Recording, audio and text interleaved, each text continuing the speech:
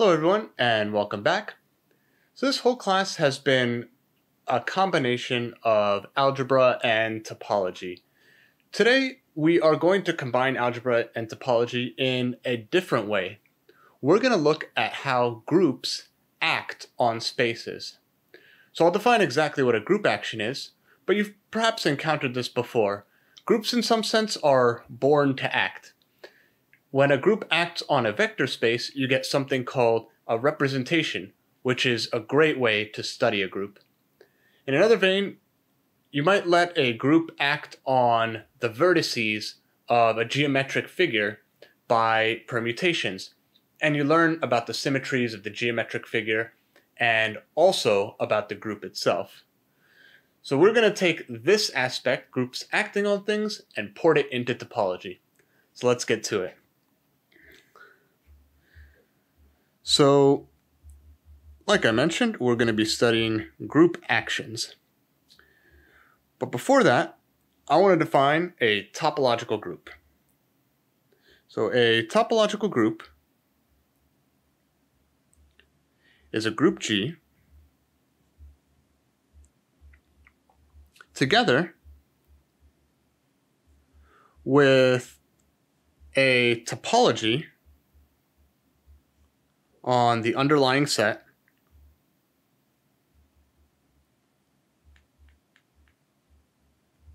of G. Okay, so I have a group that's a set with an operation, but it's also it's a set. So I'm going to pick out some subsets and I'm going to call them open, and I'm going to ask for my usual arbitrary unions are open and finite intersections are open. So I'm also going to require some compatibility between the group and the topology. We want uh, the maps, I'll call this times from G cross G to G, given by, you can imagine what this is, G1, G2 is sent to G1 times G2. And there's also another map, uh, inverse map, this goes from G back to G. And you guessed it, it sends G to its inverse. We want these to be continuous. On the product topology, on the underlying topology.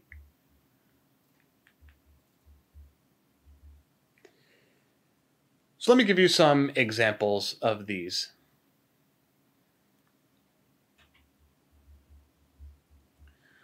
So let S1 be a subset of the complex numbers. Uh, so it's z in the complex numbers with the modulus of z being equal to 1. So recall that such numbers are of the form e to the i theta for some theta in the real numbers. This just tells you what angle you're at in the circle. Okay, uh, so I claim that S1 is a topological group under complex multiplication.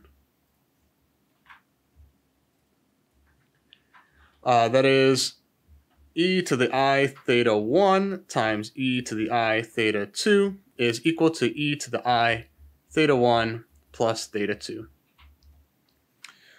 So what do I need? I need that S1 cross S1 to S1 given by uh, e to the i theta 1 e to the i theta 2 is sent to e to the i theta 1 plus theta 2 is continuous. So uh, we know what S1 cross S1 is. It's the torus. I'll just give you a, a hand wavy argument for why this is. But let me just show you what this map is. So here is one of my S1 factors, and I'm going to call this rim right here the other S1 factor. So that this point here is 1, 1. That is e to the i 0. So that point, e to the i 0 times e to the i 0, is, let me just write this in red, mapped right down here to e to the i 0. Now, this point here in green, in the first factor, it's e to the i pi over 2. And in the second factor, it's 1. And so it's mapped to the product, e to the i pi over 2 times 1. So it's mapped here, e to the i pi over 2. And what I want you to imagine is, imagine interpolating from the red point to the green point. And you can imagine this would interpolate here between the red point and the green point. And that's the hallmark of a continuous map, that small changes in the input give small changes in the output. Let me give you one more point. Here is another point. So it's a quarter way around each of the circles.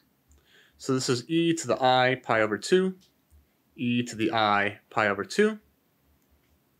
And it is mapped here to e to the i pi, which of course is equal to negative 1. And again, imagine rotating from this point to that point. You would interpolate between the green point and the purple point on the image circle.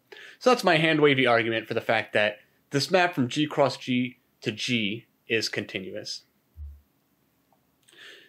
Now, also, I need inversion to be uh, continuous.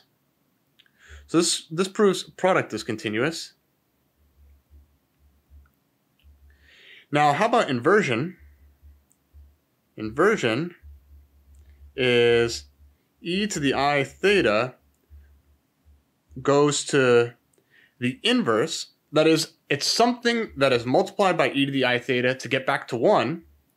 That is e to the i minus theta.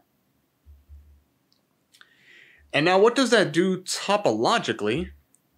Well, it just takes a point theta to negative theta. So it's just reflection. So inversion is reflection. So inversion is continuous. And therefore, S1 is a topological group.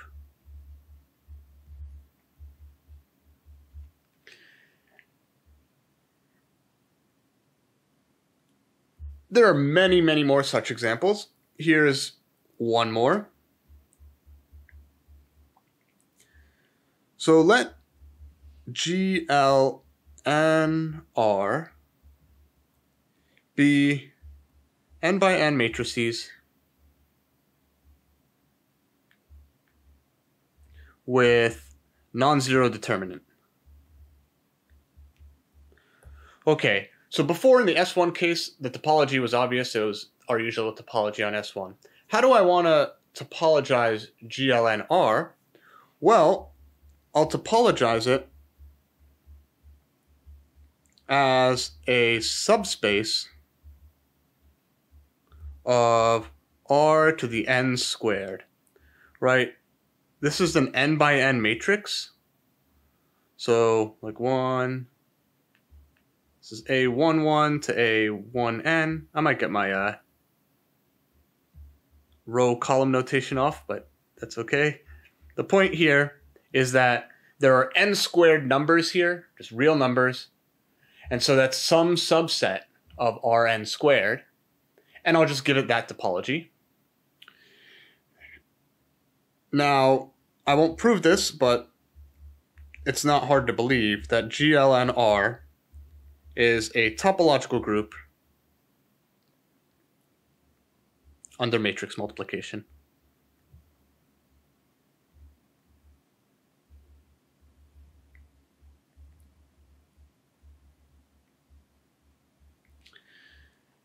And finally, how about just good old groups? What about groups? Okay, uh, like usual groups, like Z, Z mod N, maybe your dihedral group, Dn, are also topological groups. But the topology part is trivial. We're going to be using the discrete topology. Now, of course, if it's a topological group, the product maps and inversion maps need to be continuous. But this is automatically satisfied for anything with the discrete topology because every map into the discrete topology or out of the discrete topology is continuous.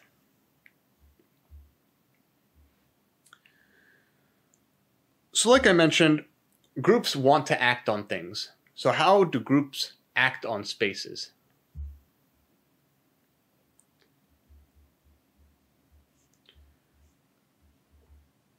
So given a topological group G and a space X,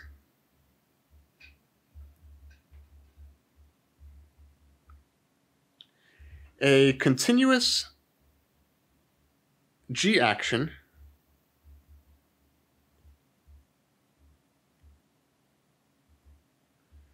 denoted G acts on X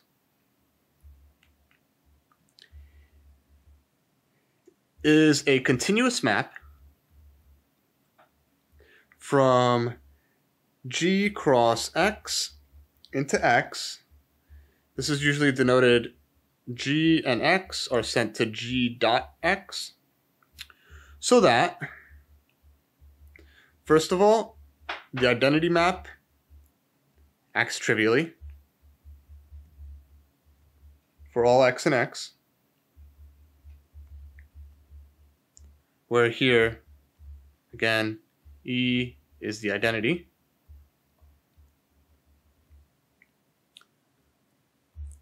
I'd also like that if I have GH acting on X, this is the same thing as G acting on H acting on X.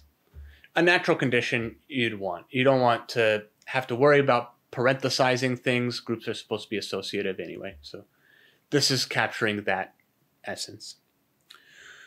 So that's a group action. Let me give you some examples.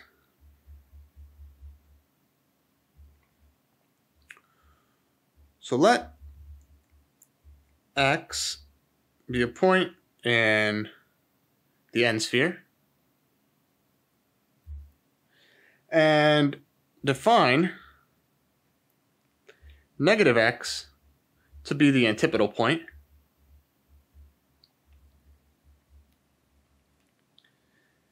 then z mod 2 which I'll write as the set 0 and 1 acts on Sn by 1 times x is equal to negative x. Now what do I need to check? Uh, and of course, let me just explicitly state it. 0 times x, this goes back to x. Uh, 1 times 1 times x. So 1 acting on 1 acting on x. This is 1 acting on negative x, which is negative negative x. The antipodal point to the antipodal point is the point itself. So, uh, this does satisfy the group hypothesis because this is the same thing as 1 times 1 acting on x, which is 0 acting on x. Great. So that's a very baseline action. Now, also, S1, let's just write this as point Z, uh, or rather, Z in the complex numbers so that the modulus of Z is 1, acts on the 2 torus, which I'll write as ZW, or I already have a Z. Let's call it uh, XY and C cross C so that the modulus of X is equal to the modulus of Y is equal to 1. Ah, no, sorry, I don't want. Modulus of X is 1 and the modulus of Y is 1. Sorry about that. Okay, what's this action? It's what you would expect. Z acting on XY. Well, actually, maybe you'd expect a couple things. Here's 1. Let's just stick it into the first factor. I know that S1 acts on S1 since it's a topological group. Let's have it act on that first factor. So what does this action looks like? Well, this action is uh, rotates around the first factor. So it looks like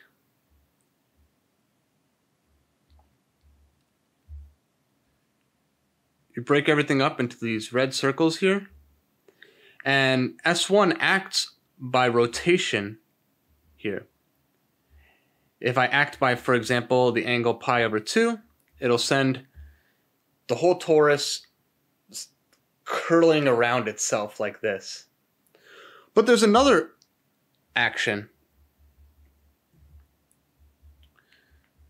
As you can tell, this is completely symmetric. So it can also act by x and then z times y. And this will rotate around the second factor.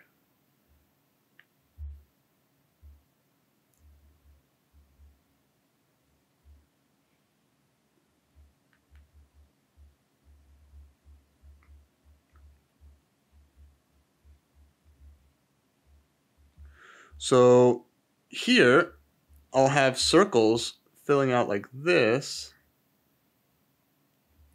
And the action takes me around this way. So spins around the other way. And finally,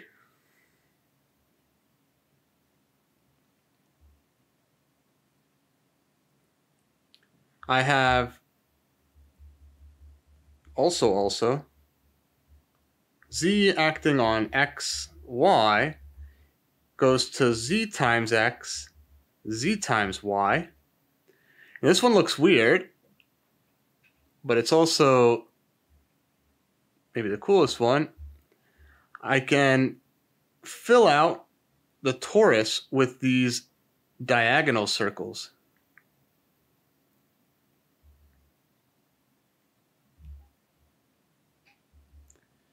You can imagine the whole torus can be filled with these circles. And what this action does is pushes you along these green circles. So it does some weird diagonal type thing. Kind of cool. Great. So as we can the point of all this is that a group can act on a space in many different ways there isn't a unique group action of a group on a space. Now, here's just an aside, which is kind of handy to think about sometimes. So for a fixed G in a group, the map X goes to G acting on X is actually a homeomorphism. Why is this? Well, it's continuous by definition, but also it has a continuous inverse which sends a point x to G inverse acting on x. So yeah, if you act on x by G and then act on x by G inverse, well, let's just go ahead and do this. If I act by G, then I go to G times x. And if I act by G inverse, then I go to G inverse acting on G acting on x.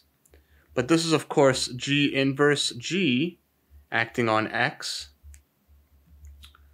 which is the identity acting on x, which must be x itself.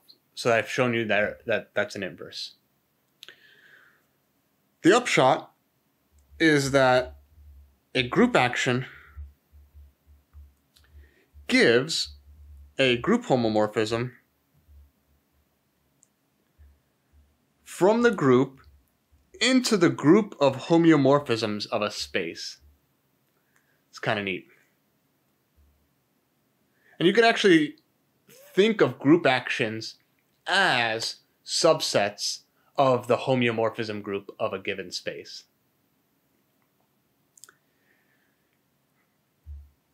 All right, so here's the definition.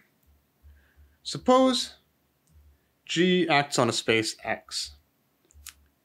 Given a point, x and x, we define the orbit of x, little x, to be, well, we'll write it as capital G times x, and it's all of the elements G acting on x for all group elements G in G. Similarly, if U is a subset of X, not necessarily open, but usually it will be, then G times U is uh, there's a couple ways you could write this. How would I write it like this? It's all of the orbits of the points in U.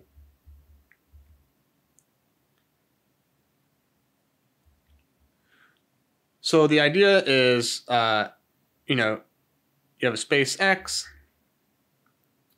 uh, maybe here is X, here is G1 times X, here is G2 times X, and there's G3 times X, and the green points are the orbit of x. You just follow x around everywhere it goes. And if it was a set, you do the same thing. Here's u, maybe here's g times u. So purple is g times u.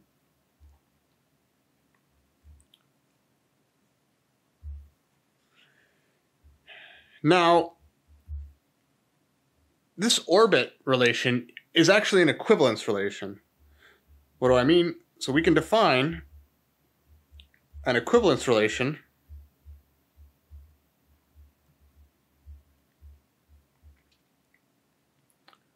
on x by x is related to y if g times x is equal to g times y.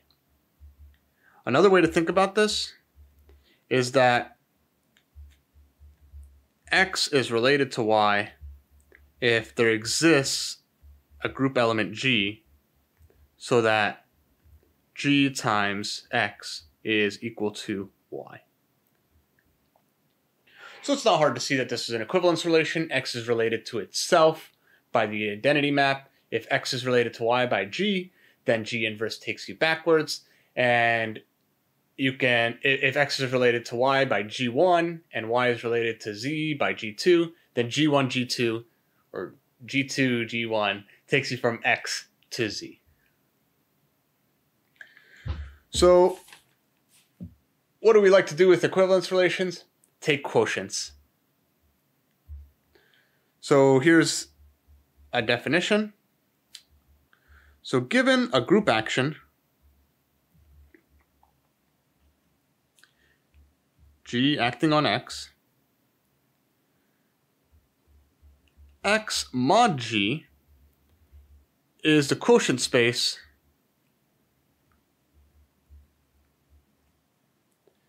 X mod twiddle, where this is the relation above. X is related to Y if G times X is equal to G times Y.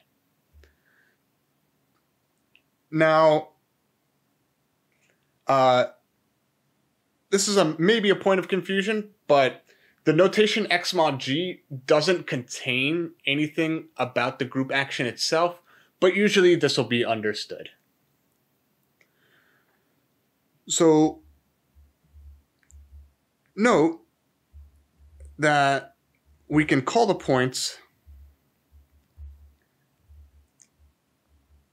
in x mod g, like g times x, for some representative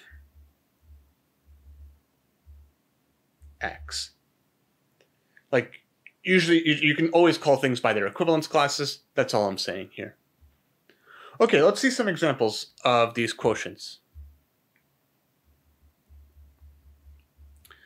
So like we saw before, if z mod 2z acts on S2 by the antipodal map,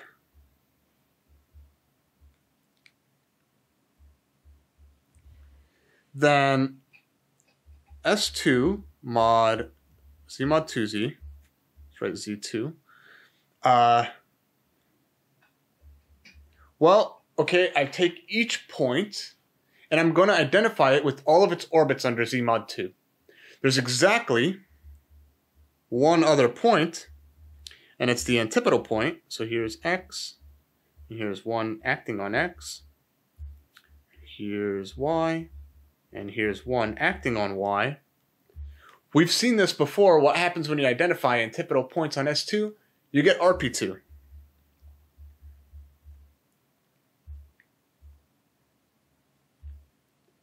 Great, so that's a, uh, an example we know and love. Here's another example. Let Z act on R by N, so this is in Z, times r, this is in r, is equal to n plus r. So this action just takes a real number and shifts it over by that integer amount. Okay, so let's look at the orbits here. So here's r, here's 0, 1, two. Well, the integers actually form an orbit, right? So here is uh, like zero acting on zero. Here is one acting on zero. Here is two acting on zero. And also, sort of like the half integers. So here's zero acting on one half. Here is one acting on one half. And out here would be two acting on one half. So every point can actually be represented by some point between 0 and 1, but 0 and 1 are identified. So R mod Z is equal to, okay, so like I said, all the points are somewhere between 0 and 1. We pick out that representative.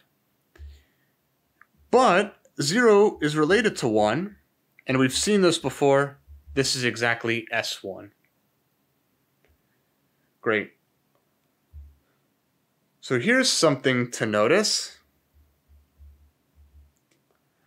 Pi 1 of RP2 we've seen is Z mod 2.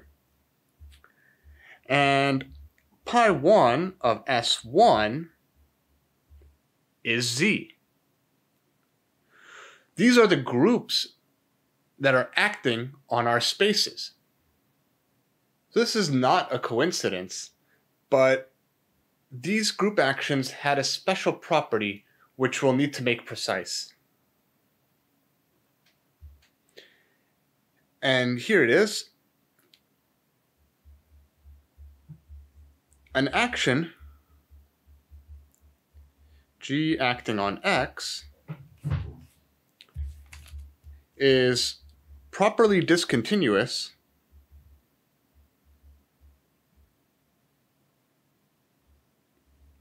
if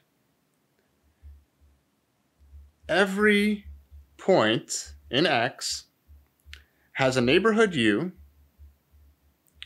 so that U intersect G acting on U is equal to the empty set for all G and G, which are of course not the identity.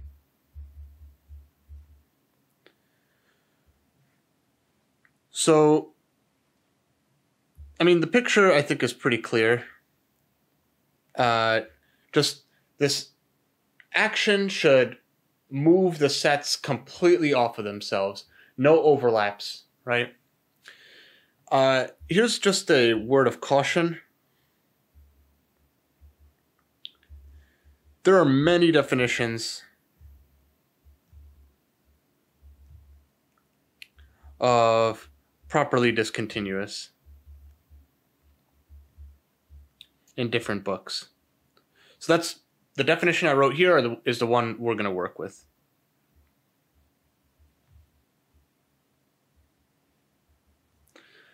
Uh, and also, this term is horrible because all of our group actions are still going to be continuous. Everything is continuous. The word is just called properly discontinuous. That's how it is. So, here is the deeper connection between group actions and the fundamental group.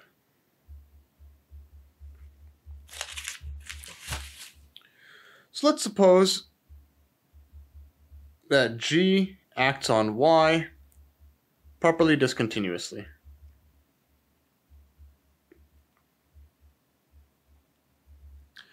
With Y path connected and locally path connected. Then, first of all, the map y to y mod g given by it's it's the normal quotient map p of y is g acting on y like the orbit of y under g this is a normal covering map. Also, this group G, it's acting somewhere up here on Y. How is it acting? Well, it acts by the group of deck transformations.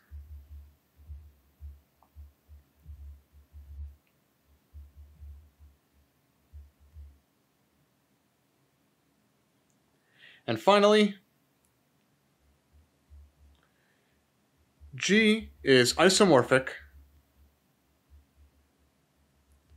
to pi 1 of y mod g mod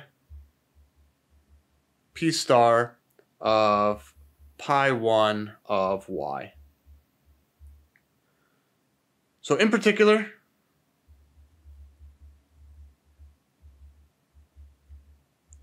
if y is simply connected,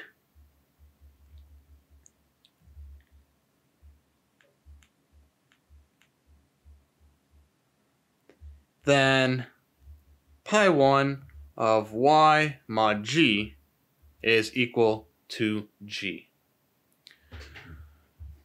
So I want to say that this last proposition, we may not apply it too much in this class, but in higher level algebraic topology, it gets used all the time. If you want to know the fundamental group of a space, a lot of times what you'll do is find some simply connected space, Y, and try to find some group action on there so that you get your original space downstairs.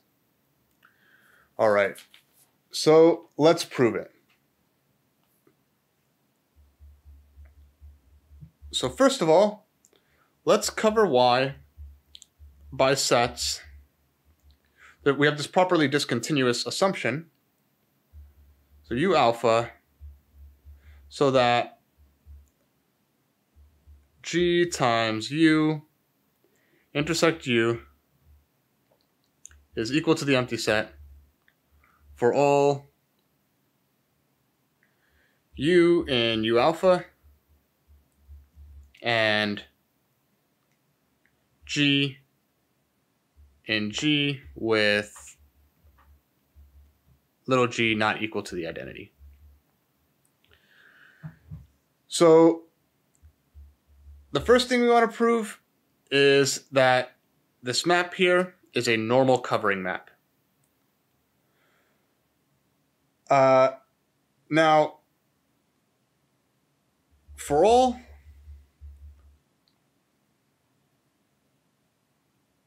G and G, G times U is homeomorphic to U. And this is a trick we've seen before,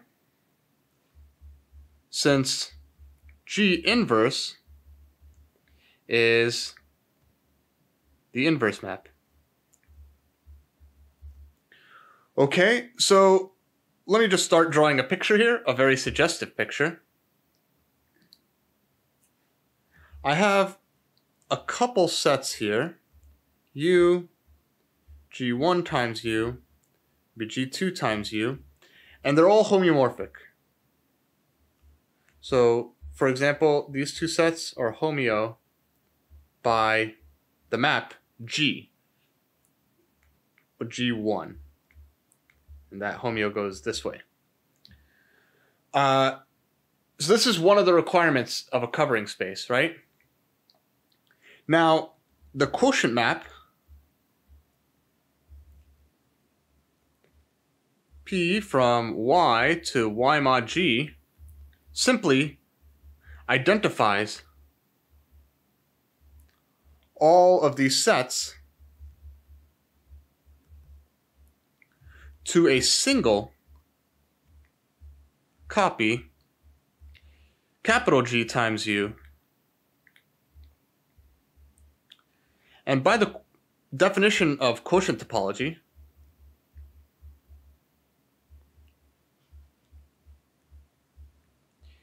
G times U is homeomorphic to U itself. So down here I have a map P and here is g times u. And so, you know, as a set, it's exactly equal to u. Moreover, if any set is open down here, it must exactly be the case that it's open all of the way upstairs. So these are two, they're the same set and they have the same topology on them. So this is a local homeomorphism. So P is a local homeo on these sets. So it is a covering map. These properly discontinuous sets serve as the evenly covered neighborhoods.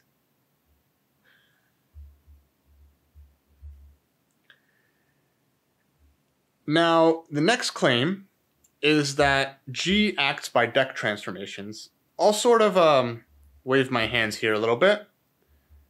G acts by deck transformations. So, well, first of all, G acts by homeomorphisms. This is again, every action by G has this inverse action by G inverse. Now, the other condition I need for it to be a deck transformation is that it preserves fibers. But of course it does.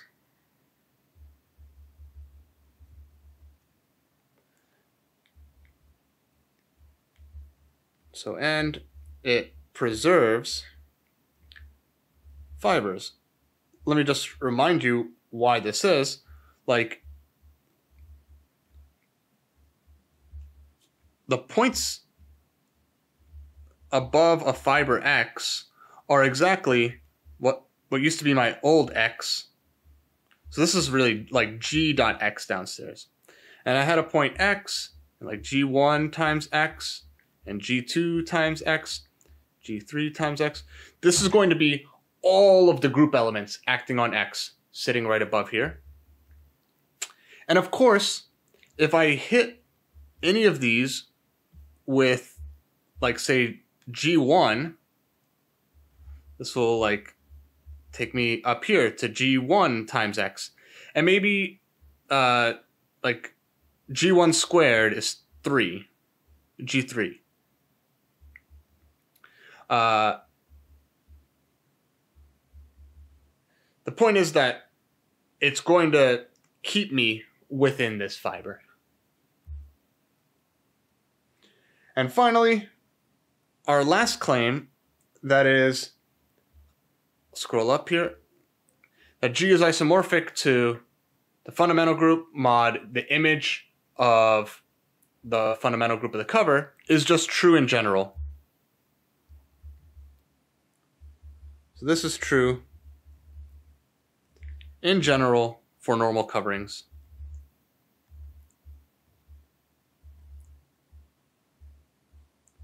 We proved this last time. Great. So now we have this intimate connection between group actions and covering spaces.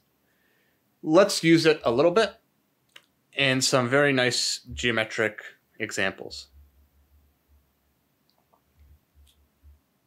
let's say finding some covers.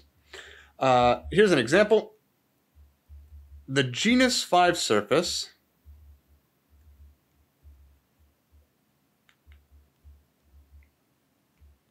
is a fourfold cover of the genus 2 surface.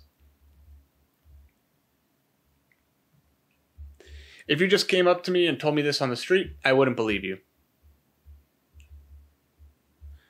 But let me draw you a picture here and convince you using group actions. Here's a nice symmetric picture of the genus 5 surface. One genus in the middle, and four genera all around here.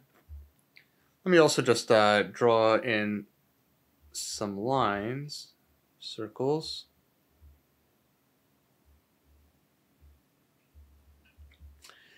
Now, there's an action of z mod 4 here. So z mod 4 acts on the genus 5 surface, sigma 5, by rotation of one fourth. So that rotation is the action of one. And you can see if I do the, the rotation four times, I come back to where I started. And that's basically the requirement of a group action. So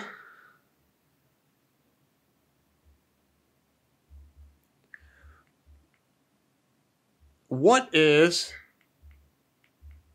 sigma 5 mod this action of z mod 4? Well, we do our usual thing. Every every one of these uh like in between any of the two red circles uh, this blue bit here is homeomorphic to this blue bit here. And moreover, the group action takes me from the blue bit on the left to the blue bit on the right. And all of them can be identified with just this sort of torus looking thing on the bottom.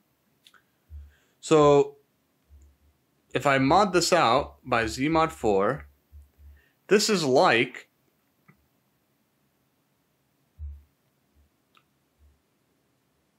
I have this red circle on the boundary here, this red circle on the boundary here, and I'll have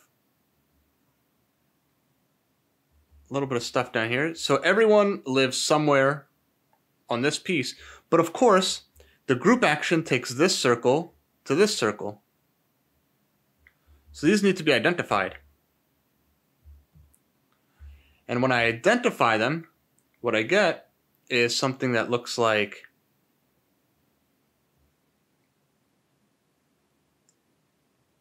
like this. So now I basically grab those two red circles and join them together at the top there. And this, you can see, is the genus 2 surface.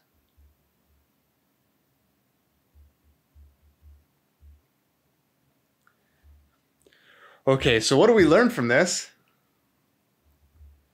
So, first of all, the fundamental group of the uh, genus 5 surface is a normal subgroup of the fundamental group of the genus 2 surface. This is a properly discontinuous action, and like we said, this gives rise to a normal covering, and normal coverings correspond to normal subgroups. Cool. What do you do with normal subgroups? You take their quotients.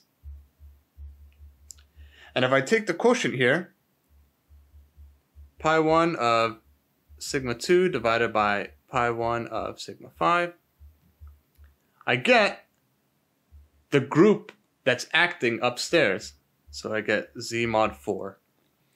And it's usually interesting to find abelian quotients of a group. They can sometimes let you get your hands on things. Here, uh, you know, the groups are relatively straightforward, but uh, nevertheless, this can help. Let me give you a another example, a little more hand wavy this time.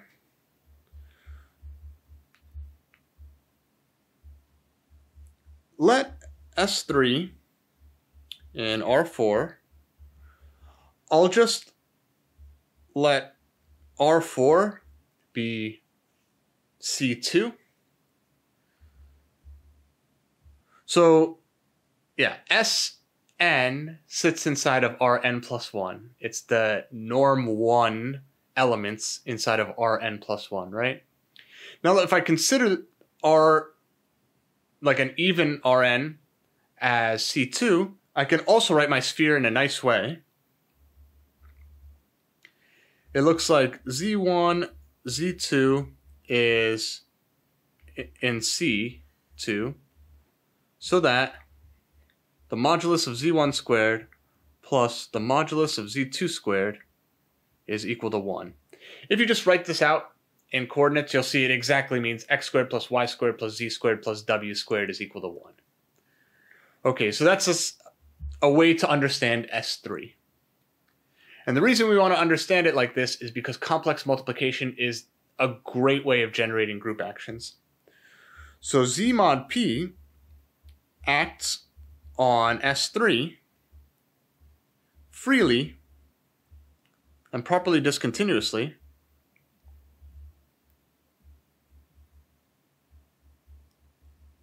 By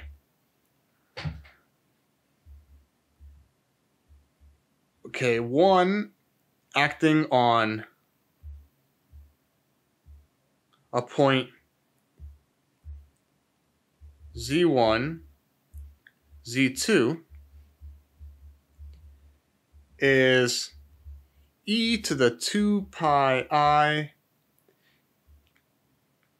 times q over p z1 e to the 2 pi i q over p z2. This looks a little bit complicated, but I'm just rotating both of these factors here.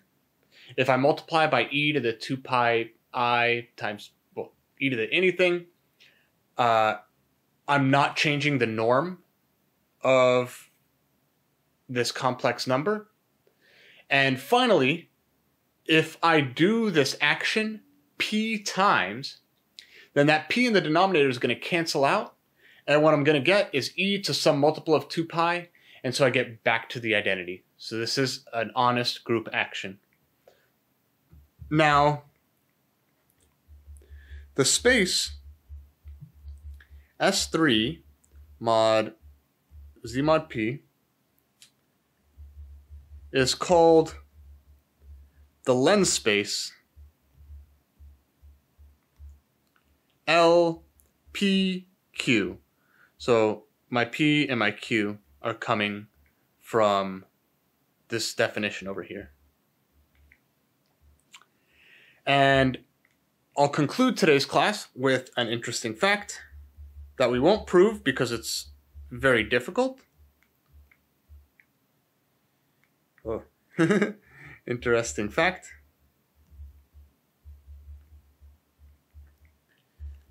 The spaces L71 and L72 are homotopy equivalent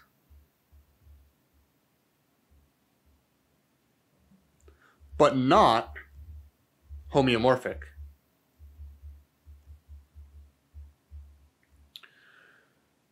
So these were some of the first manifolds which were discovered to have this property. Before it wasn't really known how different homotopy equivalence and homeomorphism was, and this was a fine sieve that helped us pick them apart. So that's going to do it for today. Uh, next class, we are going to venture into the realm of knot theory. This is, I think, going to be a fun little venture, and we'll learn how to use our tools, the fundamental group, namely, to distinguish between knotted objects in three dimensional space. I'm looking forward to it, and I'll see you next time.